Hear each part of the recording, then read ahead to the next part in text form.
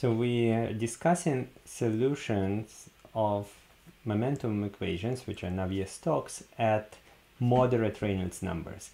Uh, before we talked about Stokes equations, and those are developed from Navier-Stokes when the Reynolds number is low, so the inertia term can be neglected. At moderate Reynolds numbers, the Reynolds number is not small enough for Stokes flow and it's not large enough for unstable or turbulent flow. Uh, it turns out that the uh, equations are still tractable. We can solve them if we assume a steady parallel flow, for example. Uh, in that case, the inertia term in the equations drops out, but not because the Reynolds number is small. It drops out because uh, of the combination of continuity equation uh, with the uh, parallel flow assumption. If the uh, du dx velocity gradient in the x direction is equal to zero, then that forces the velocity component in the other direction uh, to be zero as well. Uh, so the we have a form of Navier-Stokes equations that is fairly simple it's the gradient in x in the x direction the Navier-Stokes equations reduce to uh, d by dx of p plus the body force uh, rho gz equals uh, mu times the second derivative of u with respect to z. So that's the viscous term.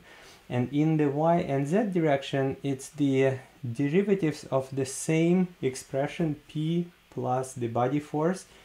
The y derivative of that equals to 0 and the z derivative of that of, of that expression equals to 0.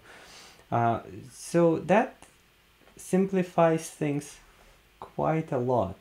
In particular, because of the fact that d by dz of p plus rho gz is equal to mm, 0, that means that that expression in the brackets is not a function of z and therefore its x derivative is not the function of z.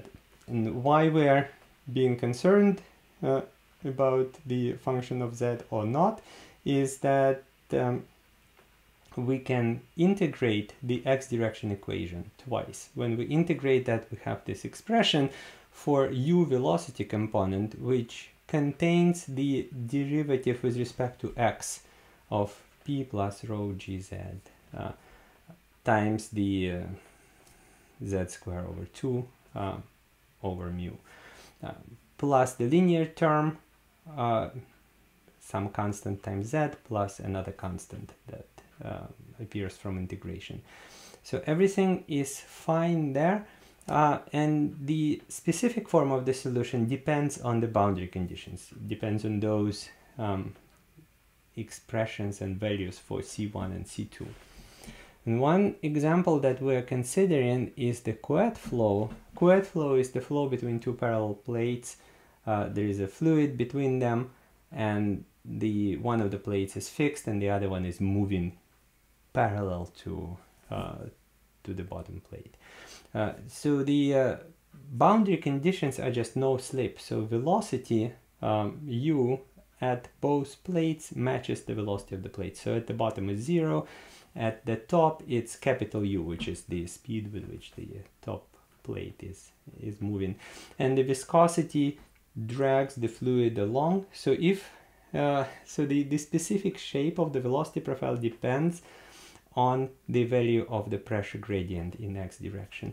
If uh, if there is no pressure gradient, so we, we're not driving the fluid by pressure at all, so only viscosity drags it along, then it's a linear profile you could see from the expression uh, of the velocity. If the pressure gradient is favorable, so the pressure decreases in the x direction, then the velocity is always positive, so it, it will actually be uh, a bit higher than that linear profile and the, the shape would be um, different. But if the pressure gradient is positive, so you, as you move from the location on the left to location on the right, the pressure increases. Uh, so some of the fluid would be pushed backwards and there would be a balance between the uh, flow due to the motion of the top plate and the flow in the opposite direction due to the pressure gradient. And the it's possible to have a negative velocity values um, across that gap between the plates. In fact, you could uh, find the value of the pressure gradient that would be required to have the overall zero flow rate between the plates if you integrate that velocity profile.